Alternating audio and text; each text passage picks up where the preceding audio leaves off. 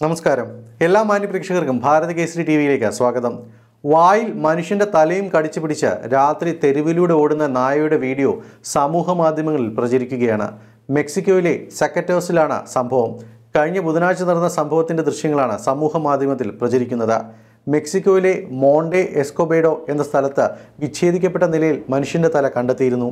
അടുത്ത തല നിങ്ങളുടേതാണ് എന്ന സന്ദേശം സമീപത്തുണ്ടായിരുന്നു. ഇവിടെ നിന്ന് നായ തല കഴിച്ചെടുക്കുകയായിരുന്നു എന്നാണ് നിഗമനം.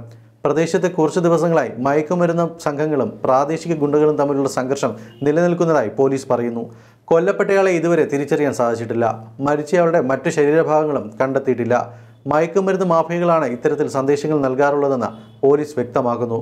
കഴിഞ്ഞ മാസം രണ്ട് ഗുണ്ടാ സംഘങ്ങൾ തമ്മിലുണ്ടായ സംഘർഷത്തിൽ പതിനെട്ട് പേർ കൊല്ലപ്പെട്ടതിന് പിന്നാലെയാണ് മെക്സിക്കോയിൽ നിന്ന് ഞെട്ടിക്കുന്ന മറ്റൊരു സംഭവം ഉണ്ടായിരിക്കുന്നത്. സംഘർഷത്തിൽ മേയറും മുൻ മേയറും അടക്കമുള്ളവർ കൊല്ലപ്പെട്ടിരുന്നു. നായ തല കടിച്ചെടുത്ത സംഭവത്തിൽ അന്വേഷണം ആരംഭിച്ചതായി മെക്സിക്കൻ പോലീസ് വ്യക്തമാക്കി. നന്ദി നമസ്കാരം.